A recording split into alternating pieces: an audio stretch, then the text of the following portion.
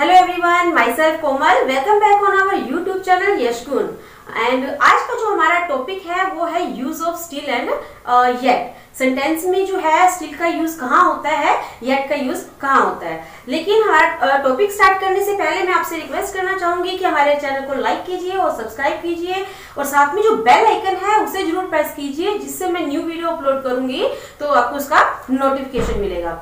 तो चलिए हमारा टॉपिक स्टार्ट करते हैं।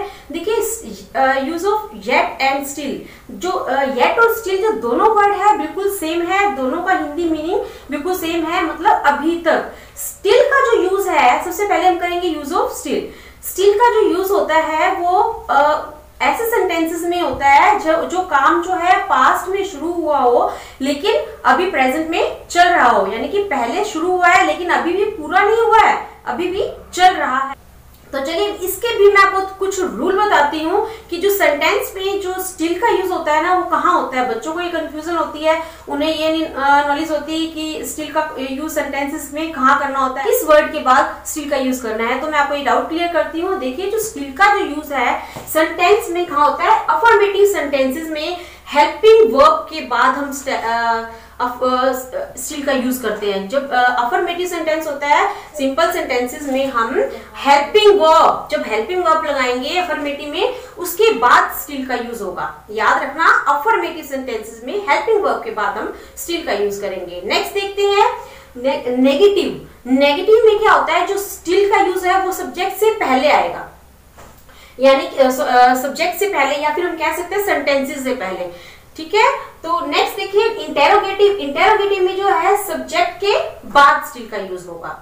याद रखिए, दोबारा मैं आपको एक बार रिवाइंड करवा दूँ कि स्टिल का यूज़ कहाँ होता है? जो अफर्मेटिव सेंटेंसेस होते हैं अफर्मेटिव सेंटेंसेस में हेल्पिंग वर्ब के बाद में स्टिल का यूज़ होता है। और सेकंड देखिए नेगेटिव जब सेंटेंस हो तो नेगेटिव सेंटेंसेस में जो स्टिल का यूज़ सबसे पहले होगा और बाद में सेंटेंस आएगा। यानी कि सब्जेक्ट से पहले हम हेल्प ये स्टिल का यूज़ करते हैं। और इंटेरोगेटिव में जो स्टिल का यूज़ जो है, वो सब्जेक्ट के बाद में होता है। याद रखिए नेगेटिव में कहा होता है? सब्जेक्ट से पहले।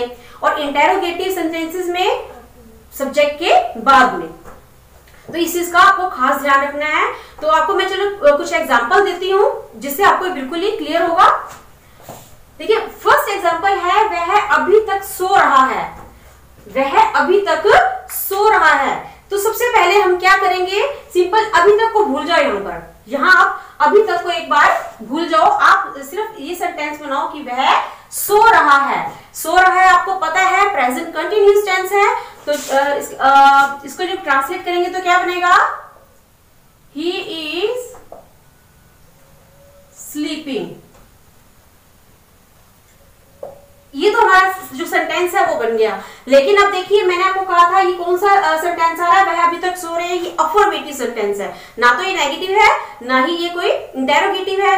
तो मैंने आपको क्या कहा था? जहाँ अफर्मेटिव सेंटेंस होते हैं तो वहाँ पर जो है स्टिल uh, uh, किसके बाद आता है? हेल्पिंग वर्ब के बाद। तो यहाँ पर स्टिल कहाँ आएगा? He is he is still sorry he is still sleeping okay देखते हैं नेक्स्ट एग्जांपल उसने अभी तक मेरी किताब नहीं दी. अभी तक नहीं दी. मतलब कि पास्ट में तो ली थी, लेकिन अभी तक उसने उसको रिटर्न नहीं की. तो अब इसका जो है, वही चीज़ सेम थिंग हम क्या करते हैं? एक बार अभी तक को भूल जाओ यहाँ पर. उसने मेरी किताब नहीं दी. इसे ट्रांसलेट करो. तो क्या बनेगा? अभी तक नहीं दी. पास्ट की बात हो रही है तो ही didn't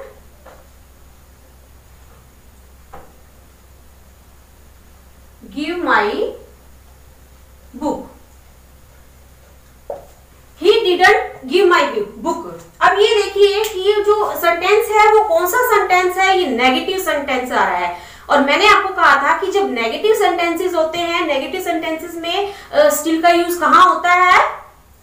कहा होता है? सब्जेक्ट से पहले। तो हम यहाँ पर ये देखिए, ये रहा नेगेटिव और जो सेंटेंस है, उससे पहले क्या आएगा? स्टिल तो स्टिल यहाँ पे कहा लगेगा?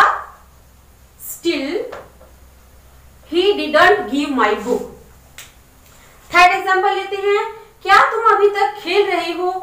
देखिए, ये कौन सा सेंटेंस है? इंटेरोगेटिव तो सबसे पहले हम अभी तक को यहाँ पर भूल जाते हैं और पहले सिंपल सेंटेंस बनाते हैं। देखिए क्या तुम अब, अब, अब खेल रहे हो? इस अभी तक को हम एक बार भूल जाए। क्या तुम खेल रहे हो? तो क्या बनेगा इसका? Are you are you playing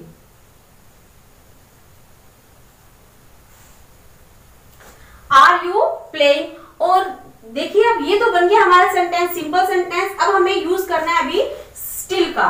अब देखिए स्टिल कहाँ लगेगा? मैंने आपको बताया था कि इंटेरोगेटिव में जो, जो स्टिल का यूज़ होता है वो सब्जेक्ट के बाद में होता है। और सब्जेक्ट हमारा कहाँ है? ये रहा। ये हमारा सब्जेक्ट है। तो अब ये जो वर्ड है स्टिल का यूज़ कहाँ हो जाएगा? यहाँ लगेगा। इसको जब हम पूरा करके देखें तो क्या बनेगा? Are you still are you still playing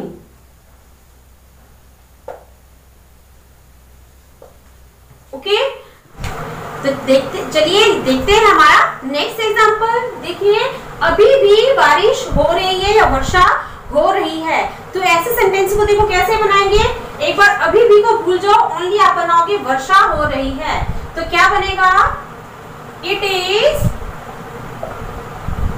raining अब ध्यान दीजिए, जो ये जो सेंटेंस है, वो कौन सा सेंटेंस है? अफर्मेटिव सेंटेंस है। और अफर्मेटिव सेंटेंसेस में जो स्टिल का यूज़ होता है, वो हेल्पिंग वर्ब के बाद में होता है। तो हम कहा लगा देंगे स्टिल को? हेल्पिंग वर्ब के बाद।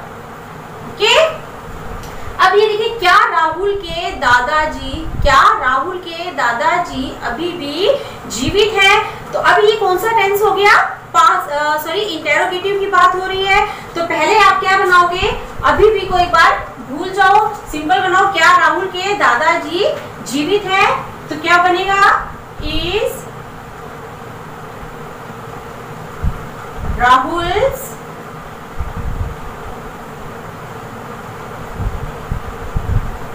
grandfather alive?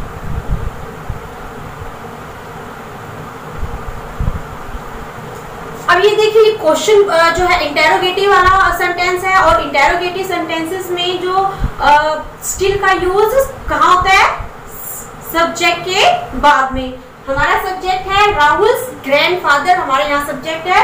तो यहाँ ये स्टिल जो है ग्रैंडफादर के बाद हम प्लेस कर देंगे। ओके थर्ड एग्ज़ाम्पल देखते हैं। वह अभी भी स्कूल नहीं आया। अभी भी स्कूल नहीं आया तो देखिए क्या है नेगेटिव सेंटेंस है और नेगेटिव में जो है, हम स्टिल का यूज़ सब्जेक्ट से पहले करते हैं तो ये सेंटेंस देखिए कैसे बनेगा? Still still he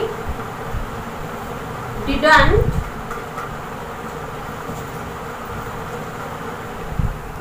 still he didn't come to school. Okay? तो चलिए अब हम करते हैं यूज़ ऑफ़ येट येट का जो यूज़ ऐसे सेंटेंसेस में होता है जिसमें अभी भी कार्य पूरा ना हुआ हो। तो ऐसे जो जैसे कि स्टिल में हम, हमने किया था कुछ रूल किए थे कि जो अफर्मेटिव सेंटेंसेस है उसमें स्टिल का यूज़ कहाँ होगा? हेल्पिंग वर्ब के बाद नेगेटिव में जो स्टिल का यूज़ है, वो सब्जेक्ट से पहले होगा और इंटेरोगेटिव में सब्जेक्ट से बाद में होगा। लेकिन येट में ऐसा कोई रूल नहीं है। येट का जो है येट का येट कंजक्शन को हम या तो सेंटेंस के बिल्कुल लास्ट में लगाएँगे या सेंटेंस में सेंटेंस से बिल्कुल पहले लगा सकते हैं। तो देखिए, कुछ एग्ज़ाम्पल देती हूँ जिससे आपको बिल्कुल क्लियर होगा। वह अभी तक नहीं आया। वह अभी तक नहीं आया। एक बार अभी तक को आप भूल जाओ। सिंपल सेंटेंस बनाओ। वह नहीं आया। तो क्या बनेगा? ही डिडंट कम ओके अब यहाँ आप चाहे तो गेट को इससे ही से पहले लगा दो। और अगर आप चाहो तो लास्ट में लगा दो।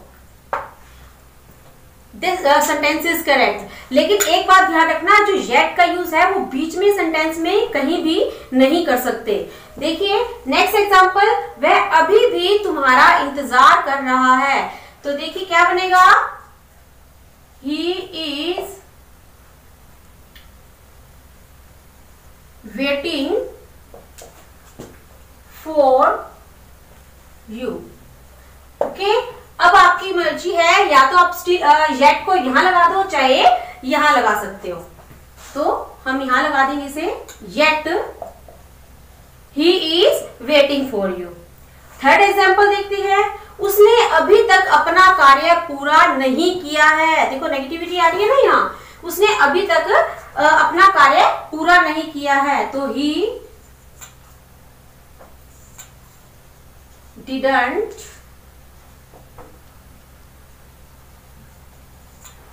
complete his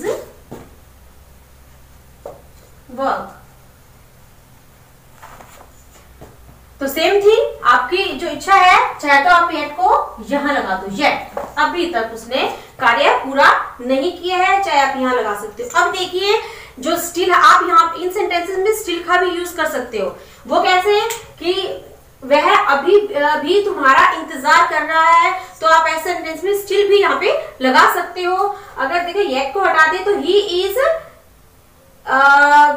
still waiting for you क्योंकि जब ये कौन सा सेंटेंस बन जाएगा? Affirmative he is still waiting for you और he didn't complete his work तो यहाँ पे अगर आप स्टिल का यूज़ करोगे तो कैसे करोगे? Still he didn't complete his work तो यहाँ पर हम स्टील का भी यूज़ कर सकते आई थिंक आपको ये टॉपिक बिल्कुल क्लियर हो गया होगा। मिलते हैं हमारे नेक्स्ट वीडियो में। Thank you